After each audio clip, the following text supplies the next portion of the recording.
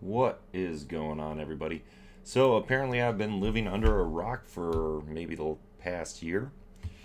In a previous video, I showed you how to install Docker and Docker Compose on Linux Mint. And we just did a sudo apt-get install docker.io and one for Docker Compose. And I just ran those. So this all came about uh, a month or so back when I was trying to uh, walk through this project from Start Data Engineering, which is a great blog, and I will link down in the description. So I went ahead and I git cloned that. Actually, I just copied that so I don't need it. And so when we go to uh, local dev and we do make up, well, we get this gnarly output here and it's running docker space compose. So, okay, let's take a look at the make file. And there's a space in docker compose. So, I was like, okay, typos. Go ahead and save that.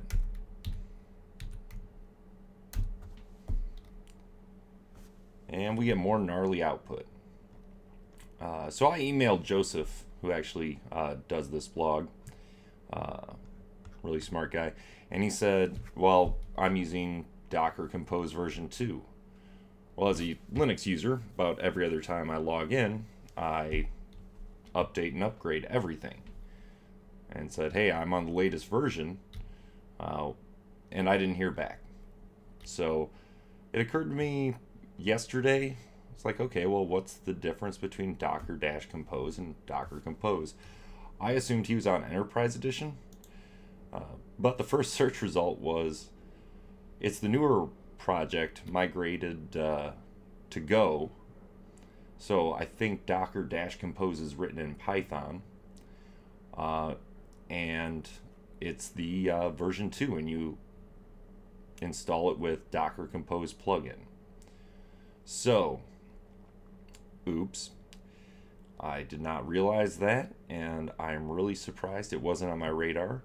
So in this video, we're going to walk through um, how to fix that and then upgrade to, uh, or I guess switch to actually pulling from Docker's repo rather than the PPA in uh, Linux. So uh, let's see. I believe that's remove. And I'm going to get rid of that. And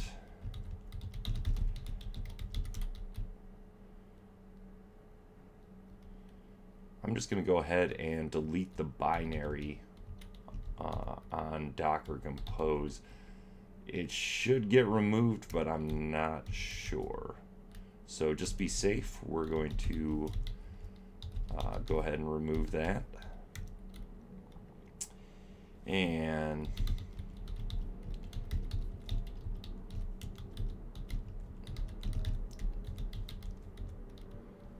oops. I always want to put uninstall here for some reason. I'm just going to switch that over to remove.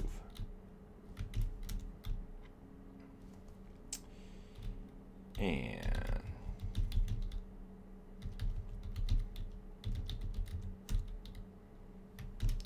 and that's just going to clean up any dependencies that came down with those uh, those installs or any of the other installs that we just don't need anymore.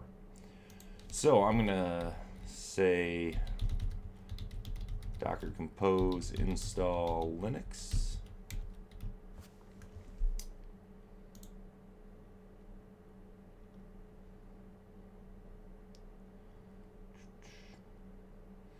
And this is showing me how to install Docker Compose. But you know what? The if I add Docker as a source, um, in Linux, I should be good, and then I should be able to uh, install, update, upgrade, all that good stuff. And you can run this from anywhere. I don't know why, I just feel better running this in my home directory. Okay, and that wasn't located. That's pretty normal.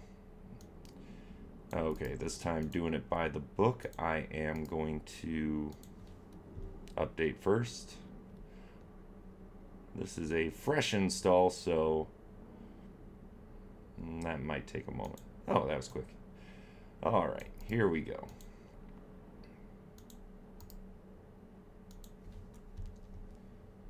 Install these dependencies. And then we need to make the keyring directory. Um, that all looks good. So that's just giving us a way to uh, to validate, verify that uh, everything's good when we're pulling updates and things like that. Uh, as far as Docker uh, and with that Docker Compose. So now that that's added, this is the piece that's going to add this to our source list. Uh, if you're on Ubuntu, this will run fine. Uh, but I just happen to know from experience that my, I don't know what you'd want to call that, release um, base name is actually Jammy. So we go to distributions and we go to Jammy, and it looks like it's going to use that and stable. Uh, you could probably use nightly build if you want to be cool. Uh, but I do know, what was that, PySpark? No.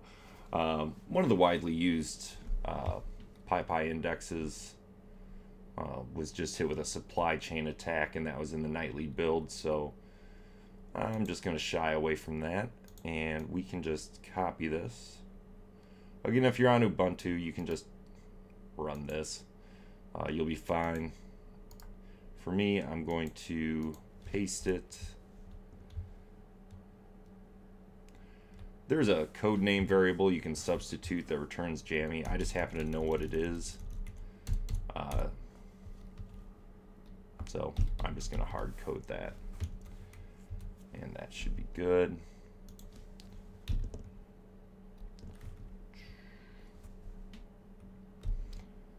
Uh, permission denied usually means I need to sudo.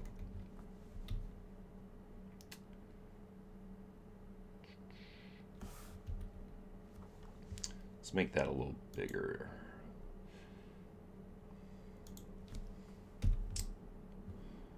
Let's see.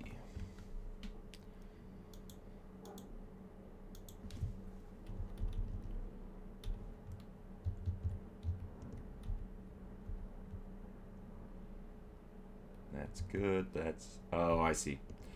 Okay. It looks... No, that should be good.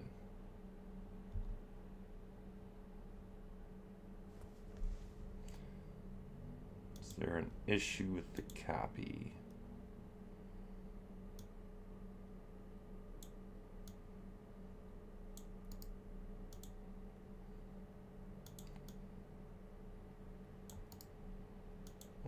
Well, here, let's try grabbing that whole thing.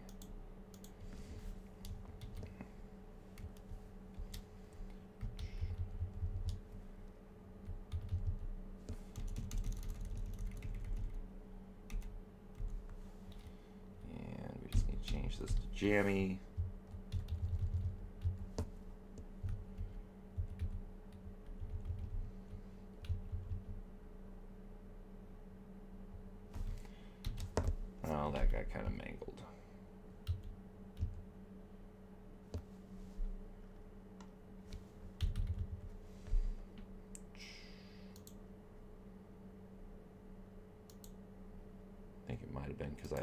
Control V instead of Control Shift V first. looking better.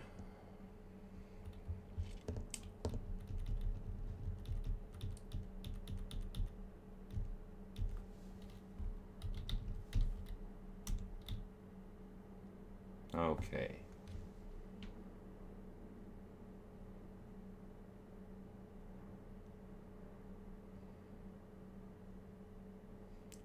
Okay, it looks like I was just missing a whack there. I'm not sure exactly what that message was about, but we should be good. Did not receive an error. Install Docker Engine. Updates probably always good. So we'll go ahead and run that. All right. And so this piece here, the Docker plugin, so that's going to be the Docker Compose piece. And I probably should have showed you uh, before I added this piece right here and added it to the uh, sources list, that would have just said, hey, I don't know what you're talking about. Like, I don't know what package that is. It does have docker-compose, but it does not have docker-compose-plugin.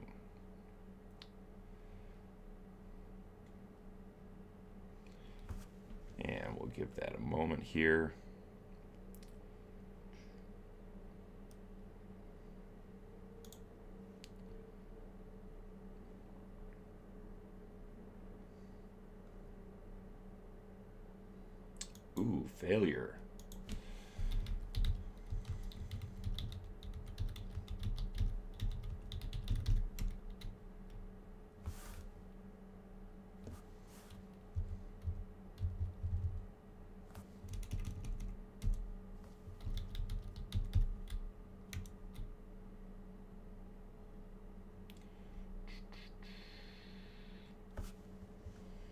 Let's see here is because I did not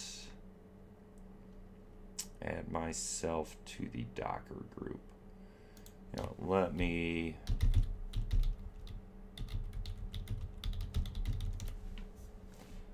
go to my GitHub real quick just because I know long while back I didn't install here so or I scripted the install so it's kind of a nice reference for me to to grab these commands. So, modify user, add to group, what group, Docker, what user. I could just type Gary, um, or just, you know, if I echo Uh, so I'm going to switch user to my current user. Seems like this works 50% of the time.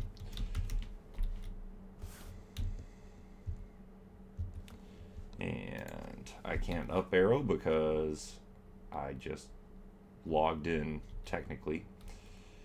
So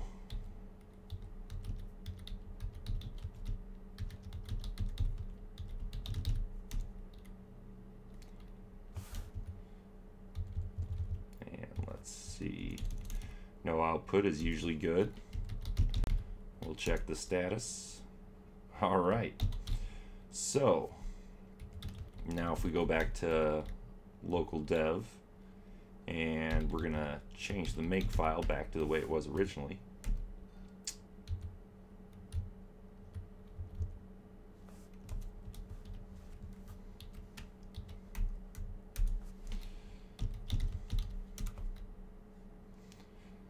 Look at that beautiful output.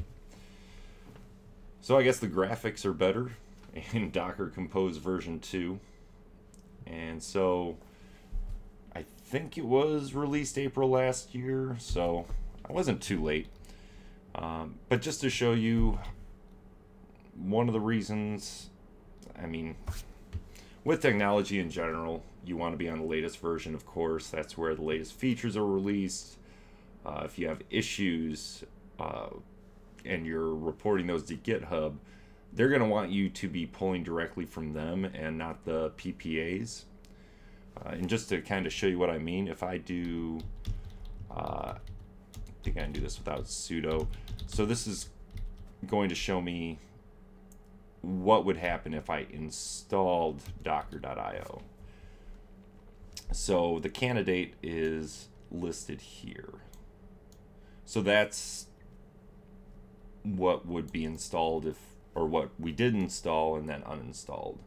So we can go out here and we can plug that in and say docker.io.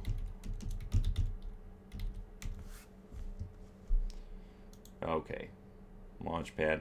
So be pulling from here. Uh, you look 3 7 2022. Uh, so it looks like this hasn't been. Oh, and there's Jammy. So it looks like this hasn't been updated in about a year.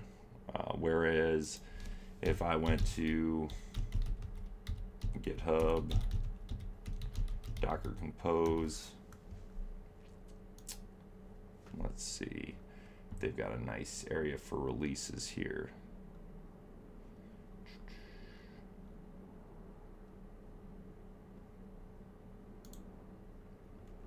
Yeah, sure enough, version 2. Uh,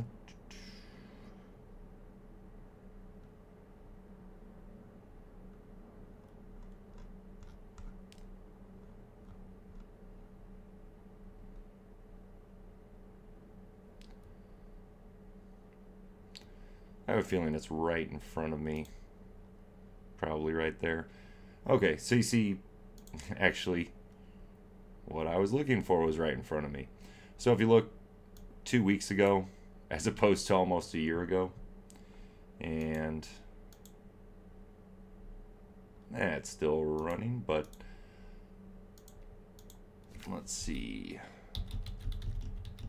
Pose. Actually, and just because it's called plugin, that leads me to believe it's not a separate piece of software. It's going to add a plugin to Docker itself where it accepts the command uh, compose rather than having a program written in Python that then uses Docker's capabilities, which is written in Go. Uh, if that's not correct or you have any comments on that, feel free to uh, leave it down in the comments section. I always like to learn more. So there we are.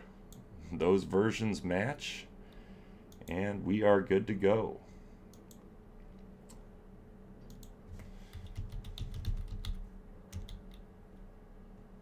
And there are my containers.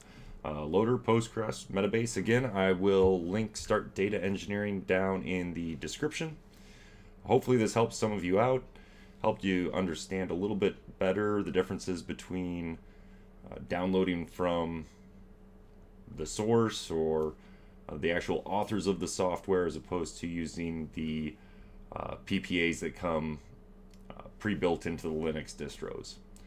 Uh, but that's it for now, and I will see you in the next video.